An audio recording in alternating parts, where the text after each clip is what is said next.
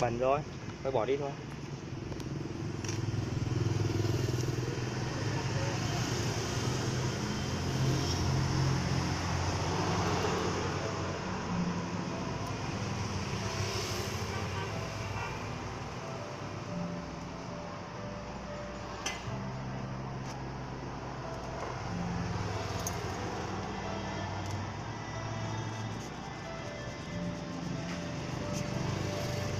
Theo nhà bên kia nó có giá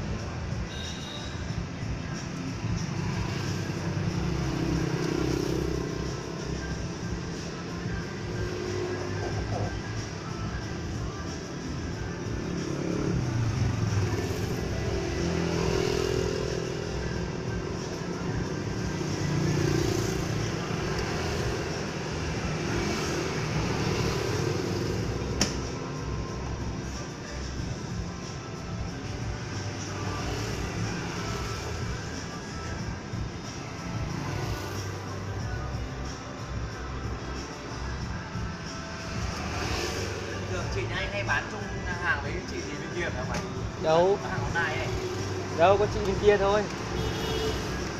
Bán thì có chạy hàng thế ngày nào bao nhiêu cục rồi bán cuốn sách hay cái gì? Túi sách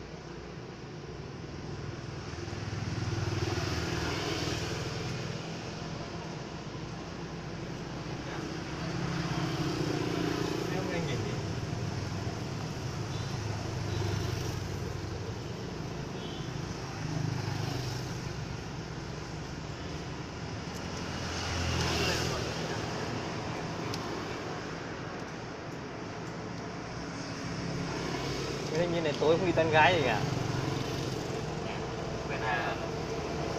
Phải tìm gần nữa chứ mẹ bây giờ mẹ kiếm vợ khó đấy mà đơn giản đâu.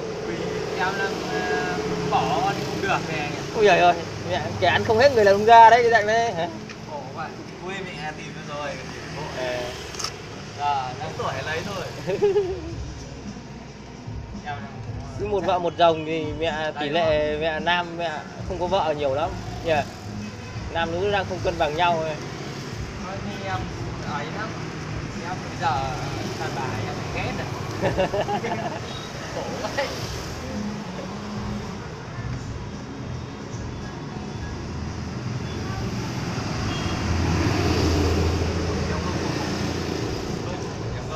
đấy anh lấy vợ anh ở xưa không lại trong gốc một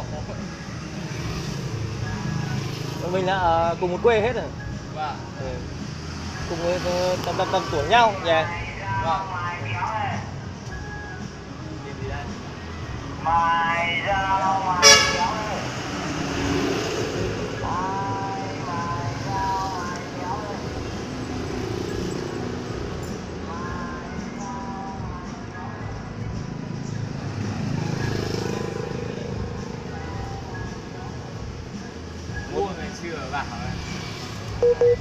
vợ mặt đường đúng rồi.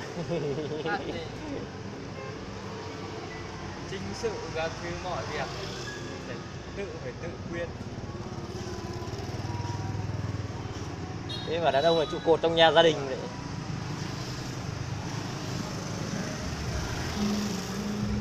Mình kia vừa cong cái bên đường rồi Thế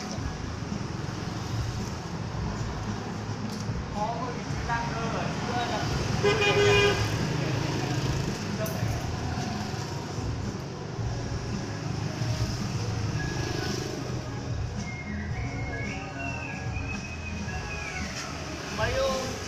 thấy anh đến hỏi đông lắm. Anh nghỉ mấy ngày đúng không? Ờ. Tiền viện nên là nằm trên viện nên mới đẻ mổ mà. Nên là phải ở trên viện mất tuần. Có bà ngoại chăm rồi ừ may cái bằng ngoại. Không chết dở. Thôi, lấy vợ lấy vợ ở, ở gần thôi lấy vợ xa mệt lắm nó lấy mình phải theo mình như biết là thế nhưng mà lúc khó khăn này ở lúc khó khăn này mới là mới thấy cái tầm quan trọng. Còn lấy vợ gần lấy vợ xa. Nó khó lắm. Có nhiều cái lợi. Gần bắt cua đúng rồi. Này. Vậy mà ở gần nó khổ lắm này. Hơi chửi nó cái nó khổ. Ờ đúng rồi. Hơi giận nồi mẹ